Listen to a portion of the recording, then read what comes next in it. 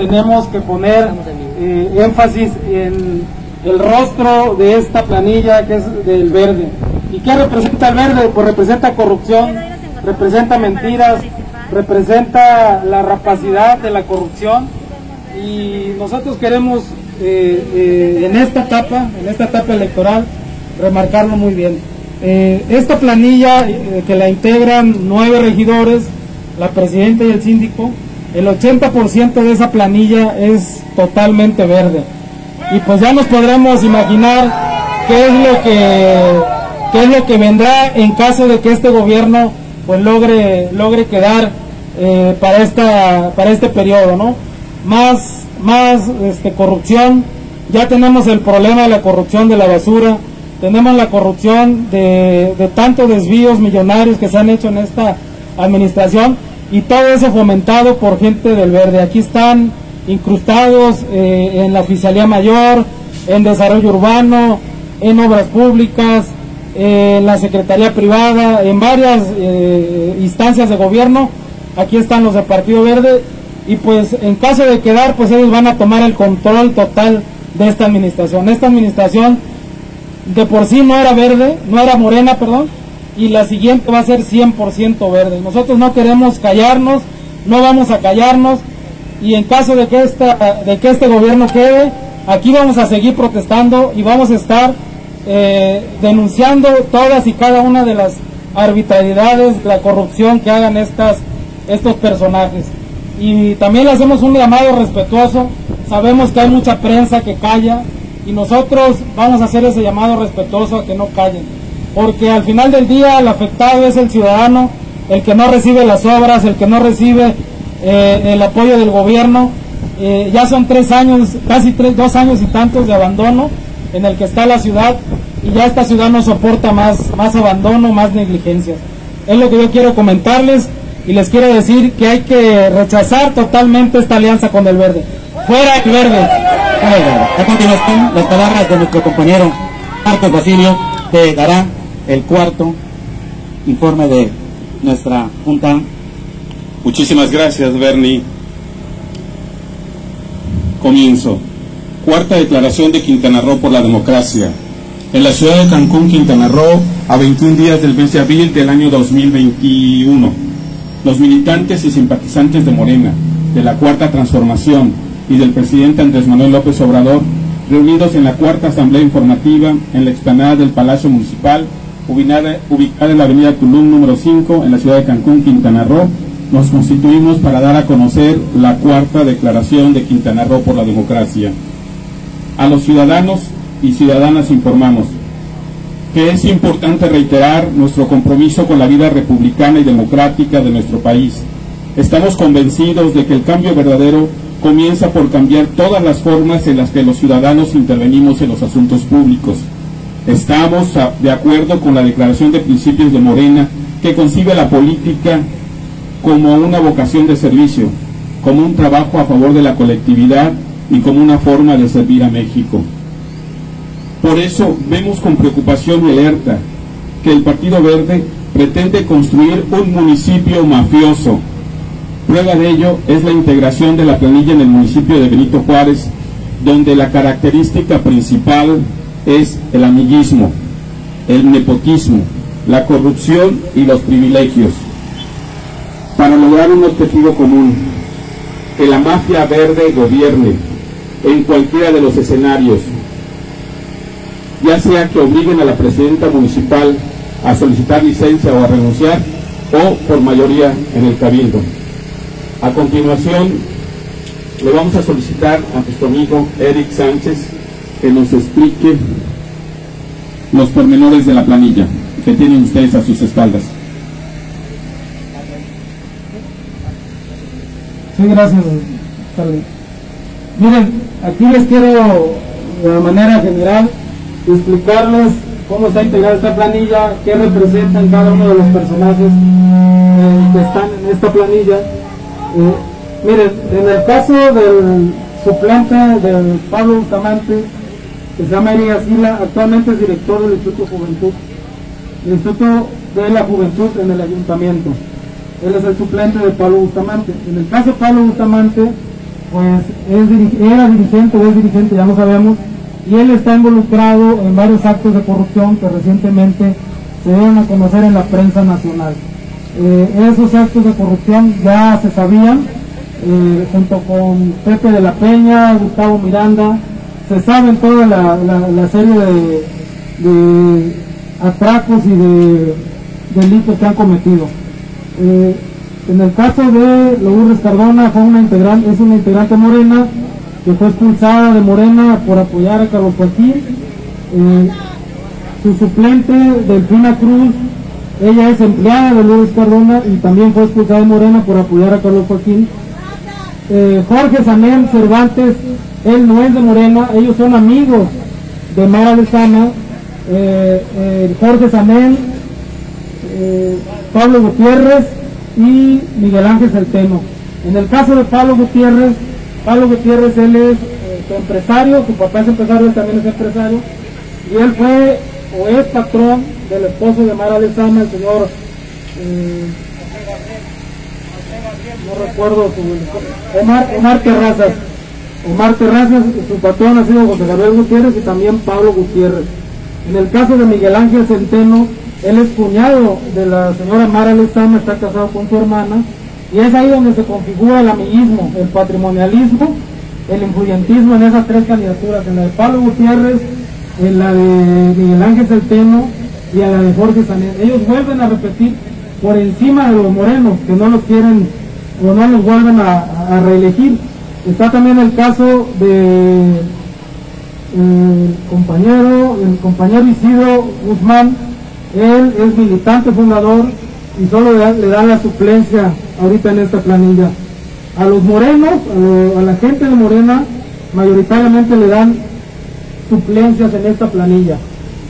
Adenia, Adenia Beita, que es, es militante, no es militante fundadora, sí es militante, pero no fundadora, ella es suplente de la compañera o de la Jessica Ciao Díaz.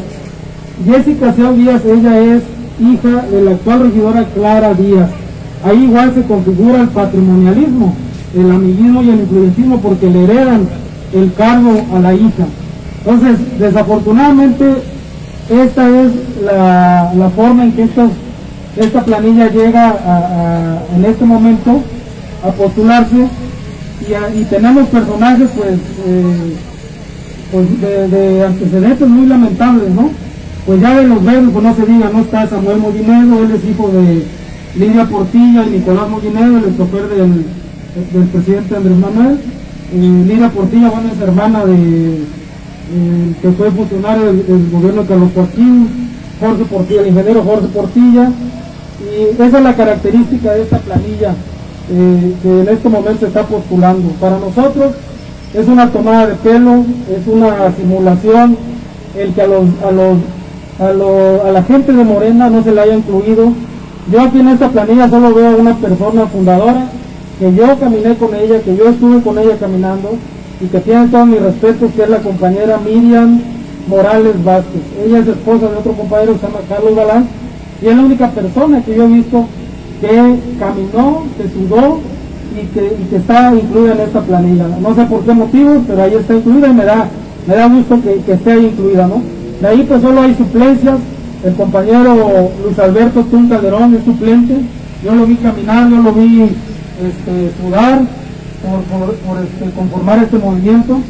Eh, está el, señor Luis Pérez, que es de Morena, es suplente. Él llega por ser hijo de la diputada Paula Pérez. Es Luis Moreno, fundador. Está la compañera Benadita, que es suplente.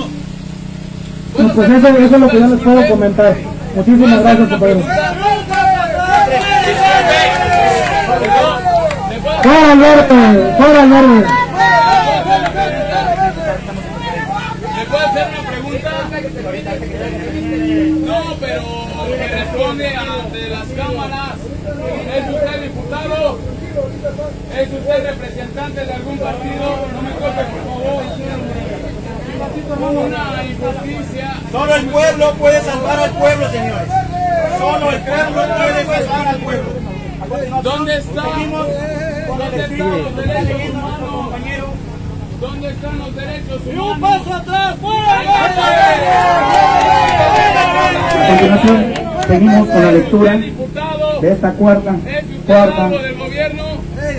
asamblea informativa. Le pedimos al compañero que nos haga el favor, de una explicación. si Compañero. Ahorita, ahorita. Por favor, no me Dámonos toque. cinco minutos. Tres cubrebocas, que se vaya. Pregunta, pregunta de dos minutos. Le puede decir a su gente que usted tiene dos minutos de tiempo, porque todo tiene su tiempo y todo lo que se quiere debajo del cielo tiene su hora. Por favor, estamos en conferencia, te pedimos, te pedimos que te pongas a un ladito, por favor. Ahorita, ahorita, te- ahorita, ahorita platicamos contigo. Ahorita platicamos. en toda la nación. La Guardia Nacional Ya no me. Bueno, compañeros, después de esto, les pedimos su atención en estos momentos. Le cedo los micrófonos a nuestro compañero Marco, que dará la cuarta.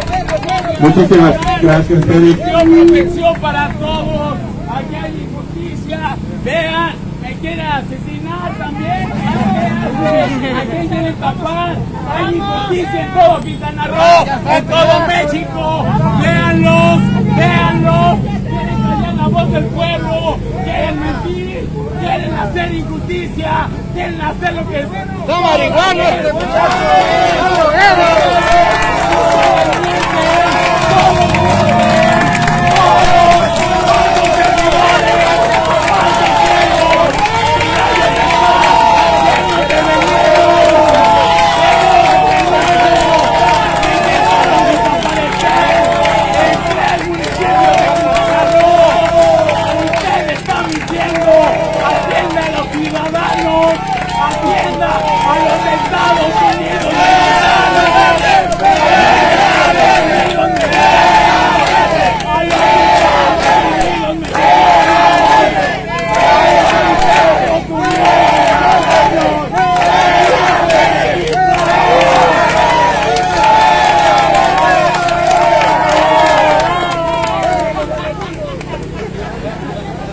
Muchísimas gracias al ciudadano que actuó por espontaneidad.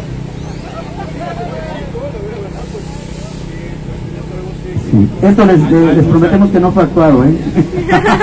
bueno, por mirar. Continúe, en continúe. este momento. De lo anterior, de la anterior tabla que explicó mi compañero Eric, se advierte que solamente son tres los regidores propietarios de Morena, de los 11 espacios que representan la planilla municipal, y los ocho restantes, incluyendo a la presidencia municipal y sindicatura, le corresponden al verde o a sus aliados. Con esta mayoría, el cabildo o con la, presidenta municipal suplente, en caso de que pida licencia el actual presidente, el ayuntamiento de Benito Juárez se convertiría en una gigantesca corporación al servicio de los privilegiados. Estarían facultados para vender playas, parques, cambios de uso de suelo, solicitar empréstitos, casinos. Así también podrían nombrar a la mayoría de los funcionarios municipales, como es el secretario general, el director de seguridad pública, el contralor y otros. Lamentablemente, el Partido Verde tiene el signo distintivo de la corrupción. Prueba de ello es la más reciente noticia donde, en donde la unidad de inteligencia financiera del gobierno federal congeló las cuentas del dirigente estatal y coordinador de la fracción parlamentaria del Partido Verde en el Congreso del Estado.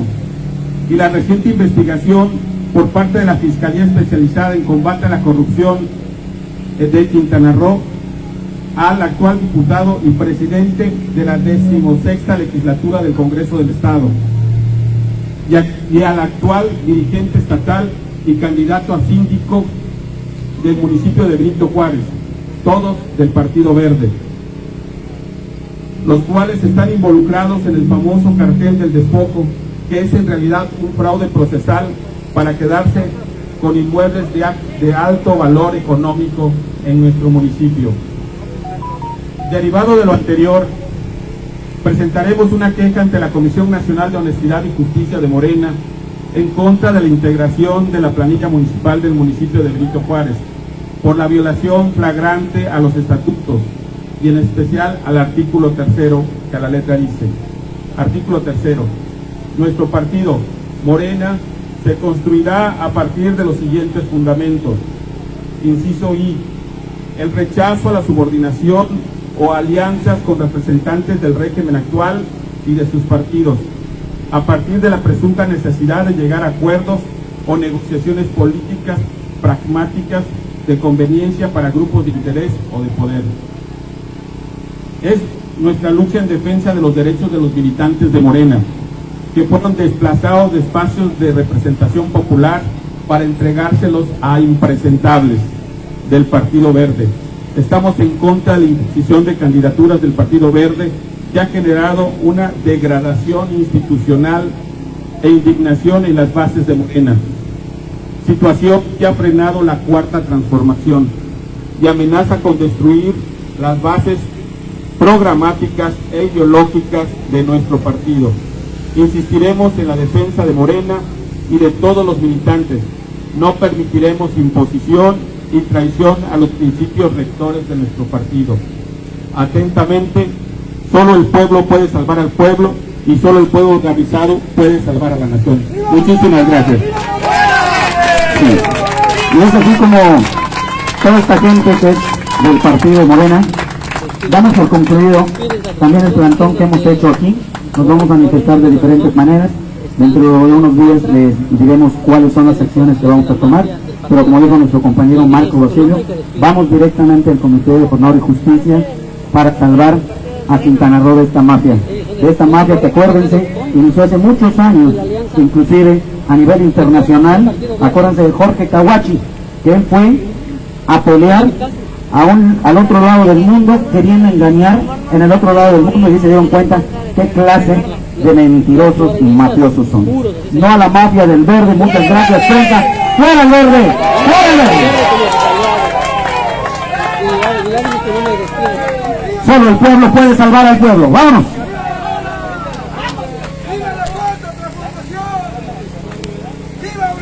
Morenistas puros están en contra de que el verde forme parte de Morena.